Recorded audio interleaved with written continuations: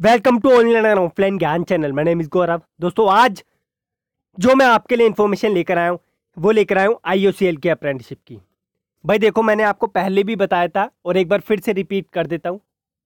ये जो आई का डिपार्टमेंट है ना, अब तक का सबसे ज़्यादा आईटीआई वाले बच्चों को अप्रेंटिसशिप का अमाउंट देने वाला बन गया है।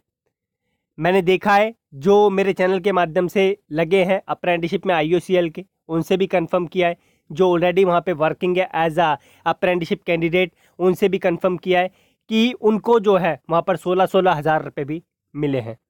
कुछ को चौदह भी मिले हैं, कुछ को बारह भी मिले तो ये किस स्टेट में आप जा रहे हैं, किस रीजन में जा रहे हैं, वहाँ पर ये डिपेंड करता है, उस स्टेट के रीजन पे डिपेंड करता है। ठीक है, लेकिन आपको स्टाइफेंड आई में अच्छा ही मिलता है। तो यहाँ पर मैं आपको नोटिफिकेशन पूरी कोशिश करूँगा कि अच्छे तरीके से समझा दूँ। ये जो है इसका पाथ है, यहाँ पर आपको जो है इसका नोटिफिकेशन मिलेगा। यहाँ से आप अपने इंपॉर्टेंट क्वेश्चन देख पाएँगे।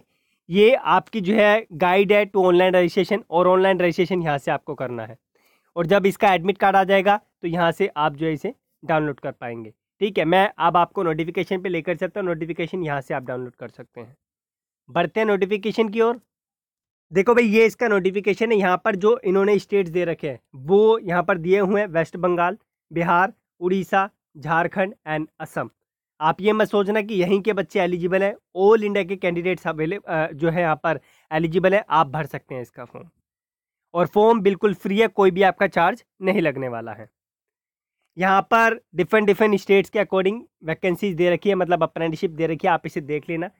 तो पहले मैं वेस्ट बंगाल का देख लेता हूँ। वेस्ट बंगाल में जो है आपका, यहाँ पर फिटर है इलेक्ट्रीशियन है, उसके बाद इलेक्ट्रॉनिक मैकेनिक है। आपका जो है यहाँ पर इंस्ट्रूमेंट मैकेनिक है, ट्रेड अप्रेंटिसशिप में आपका जो है मशीनिस्ट है, उसके बाद आपका यहाँ पर जो डिप्लोमा वाले बच्चे हैं, उनके लिए भी है, देख लें इस चीज़ को आप। और उसके बाद ग्रेजुएशन वाला पार्ट भी इन्होंने दिया हुआ है। तो ये आप देख लेना, और बिहार का भी यहाँ पर इन्होंने जो है क्राइटेरिया दे रखा है, एलिजिबिलिटी का। और यहाँ पर जो है वैकेंसी भी बता रखी है। और जो यहाँ पर आपका झारखंड है, असम है, असम के बाद आई थिंक उड़ीसा होगा। उड़ीसा वाला आप जो है यहाँ से देख लेना। तो जो पाँच छः स्टेट्स इन्होंने दे रखे हैं, इन्हें जो है अच्छे तरीके से देख लेना। कोई डाउट हो, मुझे कमेंट बॉक्स में बताना। अब ये आप पे डिपेंड करता है कि आप डिफरेंट स्टेट में जाके करना चाहते हैं, अप्रेंटिसशिप तो कर सकते हैं। बाकी, सेम स्टेट के कैंडिडेट्स ज़रूर अप्लाई करना। यहाँ पर एक चीज़ आपको बता दूँ, वो कैंडिडेट भी अप्लाई कर सकते हैं, जिनका अभी रिज़ल्ट नहीं आया, लेकिन वो फाइनल ईयर में है। जिनका अभी पेपर का एग्ज़ाम हुआ है, पेंडिंग है उनका रिज़ल्ट। तो वो भी भर सकते हैं, लेकिन उनको अपने आई से या फिर डिप्लोमा का जो आपका इंस्टीट्यूट है या फिर आपने ग्रेजुएशन किया, उनसे एक लेटर लिखवाना पड़ेगा। और ये जो डिपार्टमेंट है, इनको इन्फॉर्म करना पड़ेगा अटैच करके कि हम जो है यहाँ पर अभी अपना रिज़ल्ट का वेट कर रहे हैं, लेकिन हमने फाइनल ईयर के एग्ज़ाम दे दिए हैं। लेटरल एंट्री वाले भी इसका फॉर्म फिल कर सकते हैं। एक इंपॉर्टेंट बात आईटीआई वाले बच्चे सिर्फ़ एनसीबीटी से कर सकते हैं। एससीबीटी वाले बच्चों को इस बार IOCL ने मौका नहीं दिया है, इन स्टेट्स में। नीचे हम बढ़ते हैं, नीचे और भी क्राइटेरिया है, देखते हैं। यहाँ पर एज का क्राइटेरिया अट्ठारह से चौबीस साल का होता है, आपको पता है आईओसीएल का। ये कुछ इंपॉर्टेंट कोड्स हैं प्लीज़ इन्हें नोट कर लेना क्योंकि फॉर्म फिल करते टाइम आपकी मदद करेंगे। उसके बाद जो है यहाँ पर रिलैक्सेशन से रिलेटेड इन्फॉर्मेशन है, हम इस पर आ जाते हैं। तो यहाँ पर जो है आप देखें फोर्टीन फिफ्टीन वाला पार्ट आप पढ़ लें।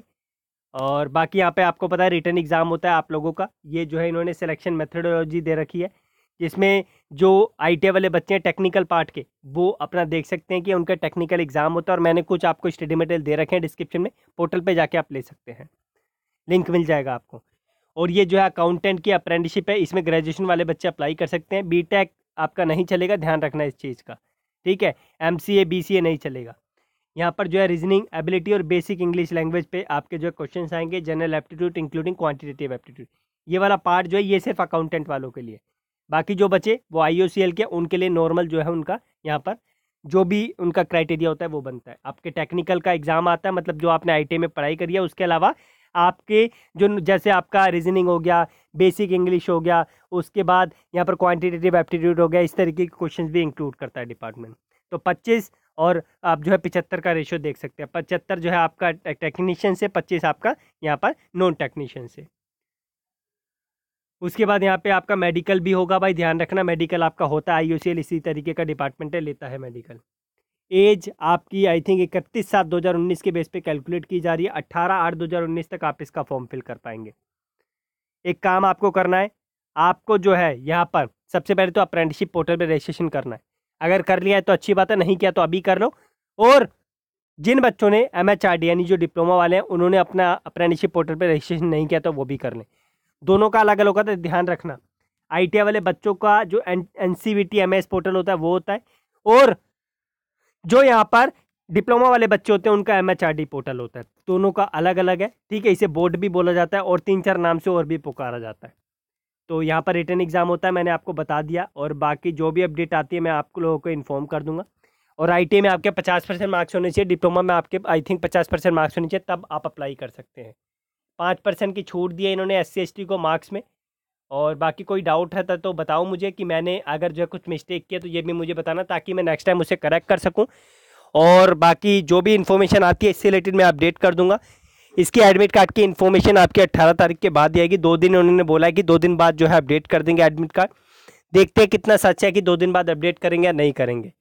बाकी मैंने इंपॉर्टेंट लिंक्स आपको डिस्क्रिप्शन में दे ही दिए जाइए विज़िट कीजिए साइट पे फॉर्म को फिल कीजिए, कोई डाउट आता है तो कमेंट बॉक्स में बताइए। अपने दोस्तों के साथ वीडियो को शेयर कर देना। फ़ी कोई भी नहीं है फ्री ऑफ़ कॉस्ट फॉर्म है, ध्यान से सुन लो इस बात को।